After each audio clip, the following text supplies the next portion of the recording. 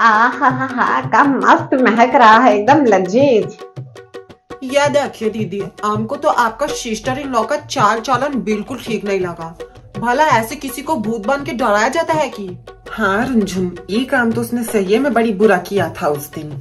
हम तो इतना डर गए थे कि हमको तो हार्ट अटैक आते आते रह गया था।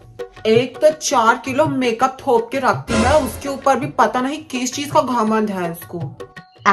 गार्लिक ब्रेड तो बन गया, अब जल्दी से कढ़ी में तड़का लगा लेते हैं। ई का माँ खाना बना रही है? यह दिन देखने को रह गया था। बहू के होते हुए भी सास खाना बना रही है। ई लो बुआ, आपका तो मेकअप हो गया। अब तो आप और भी सुंदर लग रही हो। अरे वाह रिचा मेकअप तो बहुत ही अच्छा किया है तुमने मेरा। लेकिन एक चीज़ की कमी लग रही है अभी भी। कमी? किस चीज़ का कमी? ओहो हो हो। ये तो यहाँ बैठ के पंचायता लड़ा रही हैं। गप्पा न लड़ाए तो का आपकी तरह काम पे जाएँ। अच्छा घर का काम तो तुमसे हो नहीं पा रहा है। तुम बाहर का काम करने का सोच रही हो। हम यहाँ बैठ के बतिया रहे हैं तो इसका मतलब ये नहीं कि हम घर का कुछ काम नहीं करें। हम घर का सारा काम निपटा के तब यहाँ बैठ के बतिया रहे हैं। और खाना वो तो तुम माँ से बनवा रही हो। ओरी बाबा लेकिन खाना तो आमने और अमर दीदी ने कब का ही बना लिया? सुबह सुबह ही। हाँ खाना भी हमने बना लिया है और आपकी माता जी खाना बनाने रसोई में नहीं घुसी होंगी खाना ठूसने रसोई में घुसी होंगी। अच्छा। वो हमको लेट हो रहा है हम ऑफ़िस जाते हैं। की दीदी जीजा जी भी ना। जो बुढ़िया का भी खुद उठ के एक गिलास पानी नहीं पी सकता है वो बुढ़िया भला किचन में घुस के खाना बनाएगी। रुको हम देख के आते हैं कागुन बघार रही है हमारी सोने की मूर्ति उर्फ़ हमारी सासू माँ। लो मस्त पकौड़ा वाला कढ़ी भी हो गया। माँ जी क्या बात है? इतना सालों के बाद आज आप कुकिंग कर रही हैं। हमारी लाडली बेटी जो आई है ना उसके लिए पसंदीदा उसका खाना बना रहे हैं।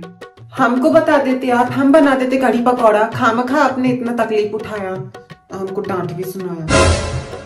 तो मेरे हाथ में वो स्वाद कहाँ तुम तो उल्टा गुण भी बघार देती हो। यही लिए हम तो खुद ही बना लिए उसका पसंदीदा खाना। तुमको नहीं बोले? ओ हम कहा ना एकदम परफेक्ट काम जो करते हैं। ये तो हो गया। कहाँ लेकर जा रही हो? हमार कमरा में ले जा रहे हैं। अरे तो यहाँ पड़े पड़े सड़ थोड़ी जाएगा। हम्म बात तो सही है वैसे तो यहाँ पड़े पड़े सड़ेगा नहीं लेकिन जो तुम्हारा इतना लंबा ज़ुबान है अगर उस ज़ुबान से तुमने रेंगते रेंगते उठा के अब गार्लिक ब्रेड खा लिया तो इसमें से तो कम पड़ जाएगा नहीं। ये वाले लिपस्टिक का शेड बहुत ही अच्छा लग रहा है और ये मेरे कलर के ऊपर भी अच्छा लगेगा। लेकिन बुआ ये लिपस्टिक तो रुंझुन मौसी की है। हमारी मानिए तो आप इस लिपस्टिक को वहीं रख दीजिए। कहाँ से कि रुंझुन मौसी तो अपना मेकअप किसी को हाथ भी नहीं लगाने देती हैं। ऐसा क्या है इसके मेकअप में? एकदम चीप क्वालिटी का तो है, वो तो मुझे इसका शेड अच्छा लगा तो मैंने उठा लिया। क्यों हुआ दीदी? की कर रही थी आपकी मदर इन लॉ किचन में। कुछ न उनकी दुलारी बेटी के लिए चिज्जी बना रही थी। बाबा दीदी ये छीछी कौन सा खाने का चीज़ होता है? अरे छिच्छी नहीं चिज्जी छिच्छी तो लैटरिंग को बोलते हैं। ओरी बाबा, हमको क्षमा कीजिएगा दीदी। हमने चीजी की जगह चीजी सुन लिया। ऐसे तो कभी उठ के एक गिलास पानी नहीं ले पाती हैं। और हमरे ही खाना को चाट चाट के रोज खाती हैं और आज हमरे ही खाना की बुराई कर रही थी। लेकिन दीदी, आपकी मदर इन लोग क्या बना रही थी? ऊ, कढ़ी पकौड़ा और ऊ, क्या बोलते हैं? हाँ गंधारी ब्रेड बना रही हैं। गंधारी ब्रेड ओरी बाबा दीदी, वो गंधारी ब्रेड नहीं होता है, वो तो गार्लिक ब्रेड होता है। हाँ हाँ जो भी है, सो भी है। देखिए दीदी, इसमें आपका तो क्या ही गलती, देखिए, हमारे घर पे हर दिन गार्लिक ब्रेड पिज्जा और बर्गर सब कुछ आता रहता है, वो भी होटल से। अब देखिए, पैसा ही इतना है, खाता भी नहीं होता है पैसा। तो अपने घर में रहने का, इधर नहीं आने का?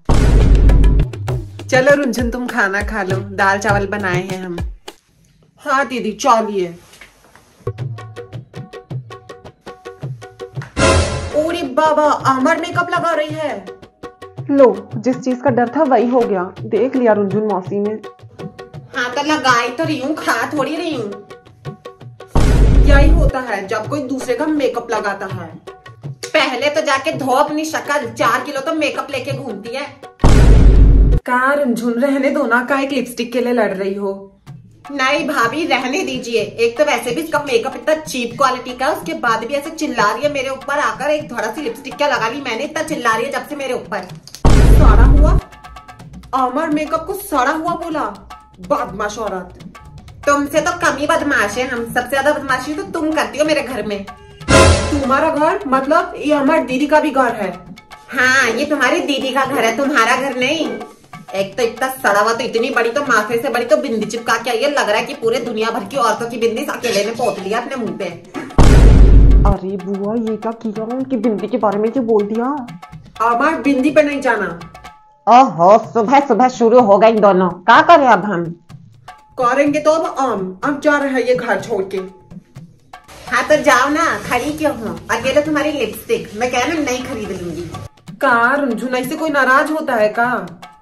नहीं दीदी अब हम और नहीं सुन सकता। अब हम जा रहे हैं घर छोड़ के। अरे बेटा बाहर जाने का रास्ता उस तरफ़ है उस तरफ़ नहीं। क्या हुआ? कहाँ जा रही हो?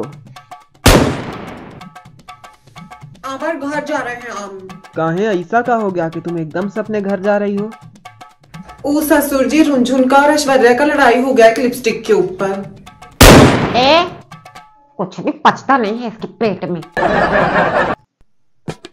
ऐसे भला कोई घर छोड़ के जाता है का? घर में सारे लोग होते हैं तब कहीं जाके घर थोड़ा भरा भरा लगता है घर में थोड़ा खुशी होता है। ऐसे छोटे छोटे बात में लड़ा नहीं जाता है। चलो माफ़ी मांगो एक दूसरे से दोनों।